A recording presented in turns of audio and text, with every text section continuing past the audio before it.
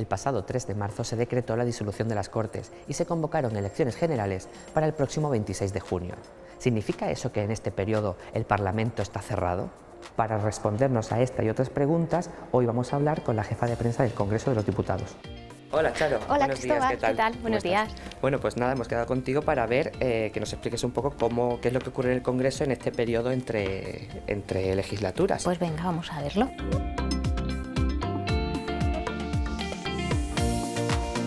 Esta sala constitucional es la sala donde habitualmente se reúne la Diputación Permanente del Congreso. La Diputación Permanente es un órgano que garantiza el poder de la Cámara en el periodo de intersesiones, en el periodo en el que la Cámara no está reunida o, por ejemplo, en los periodos de disolución, que es el caso que se nos presenta ahora. ¿no?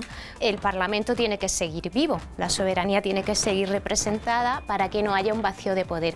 Y esa es la razón por la que existe este órgano que es la Diputación Permanente. Según dice la Constitución, está compuesta de un mínimo de 21 miembros y la mesa del Congreso en cada legislatura determina el número de diputados que la componen en función del número de diputados que tiene cada grupo parlamentario. ¿eh? Entonces esa composición es proporcional al tamaño del grupo parlamentario. Las funciones de la Diputación Permanente son las justas para garantizar el funcionamiento de la Cámara en caso de que sea necesario. Por ejemplo, en caso de reales decretos leyes porque haya una circunstancia extraordinaria y urgente y que precise de la convalidación de esta, de esta figura por el Congreso o bien en una circunstancia absolutamente extraordinarísima que sería en, en caso de decretarse un estado de alarma o de excepción o de sitio.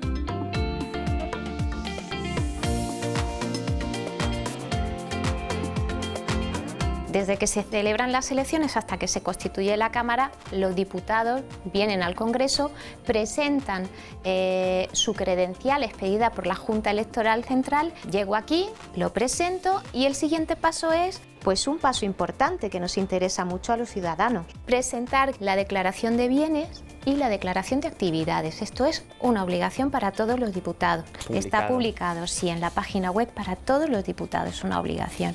Y por último, toman posesión de su escaño en la sesión constitutiva.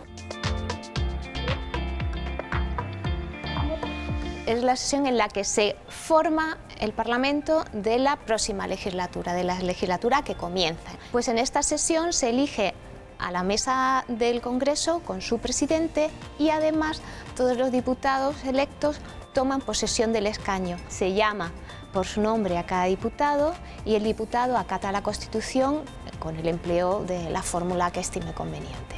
Pero es fundamental, es importante y es obligatorio el acatamiento de la Constitución y a partir de ese momento ya pueden cumplir con sus obligaciones y ejercer sus derechos parlamentarios. Charo, pues muchísimas gracias por toda la información que nos has dado. Ya nos queda más claro qué es lo que ocurre en el Congreso en estos dos meses. Gracias a ti, Cristóbal, por darme la oportunidad.